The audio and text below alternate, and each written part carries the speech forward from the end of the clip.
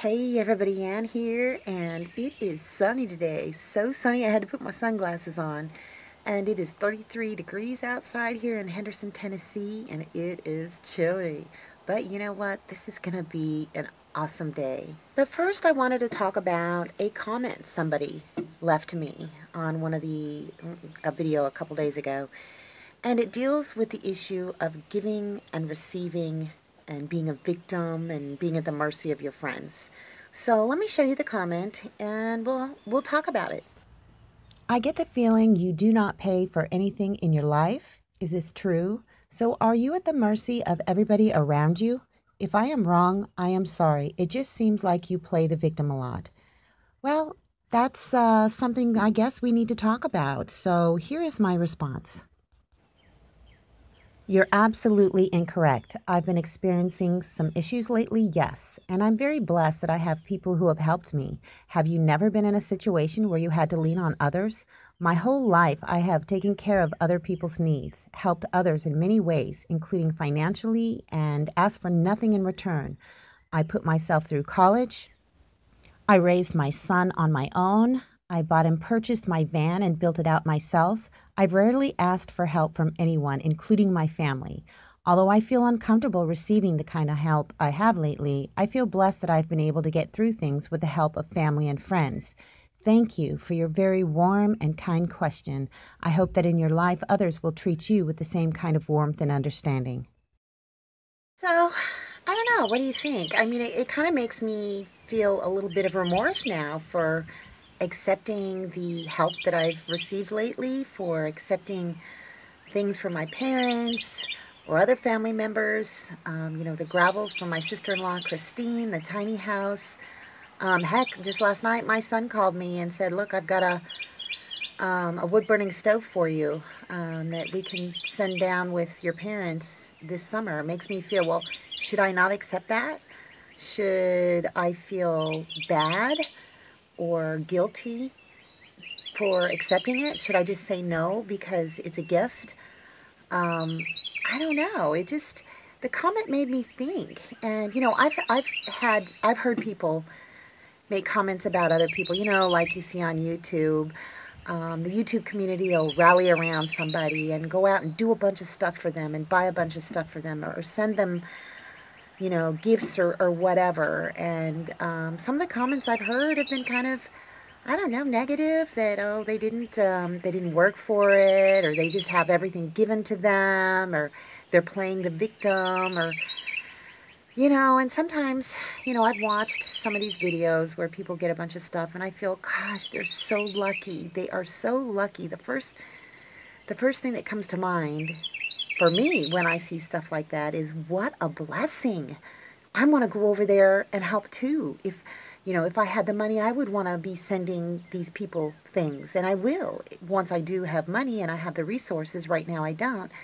But the first thought that comes to my mind is not that they're a victim, not that they're mooching, not that they're e-begging, but wow, what a blessing that there are people out there kind enough to rally around somebody and help them and uh, give them a hand up and and um, bless them with things bless them with the abundance from their own lives. So that's kind of my thoughts on that you know? And so i kind of feel i don't know i don't know how i should feel about receiving gifts anymore you know? Should i say no?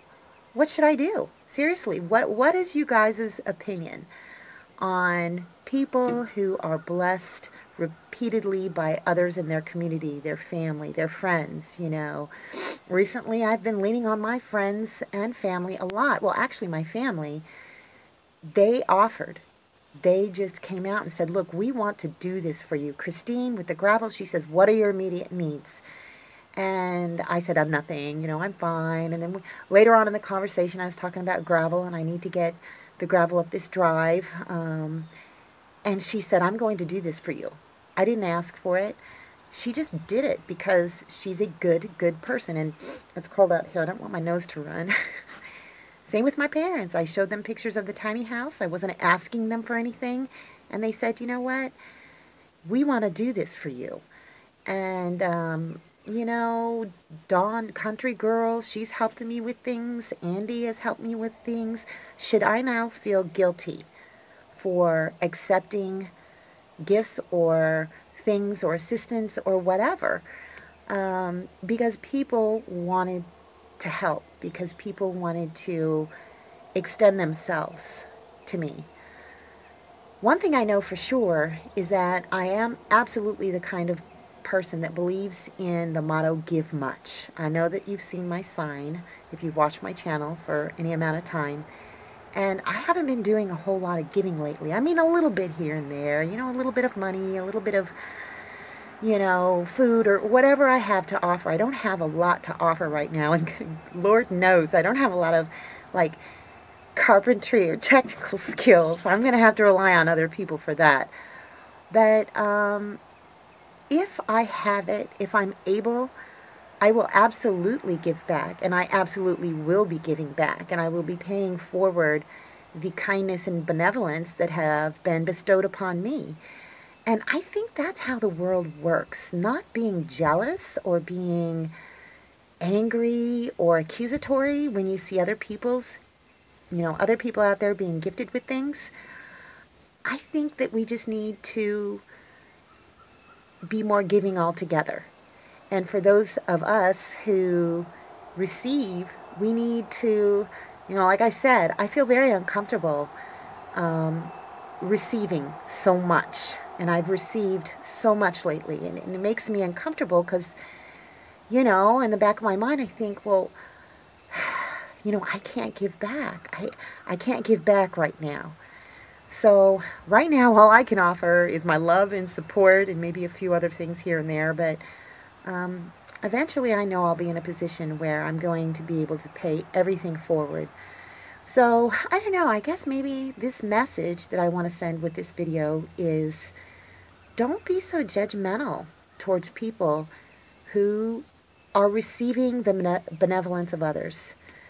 Instead, extend yourself where you can and graciously accept the gifts from others because I know how good it feels when I give something to somebody.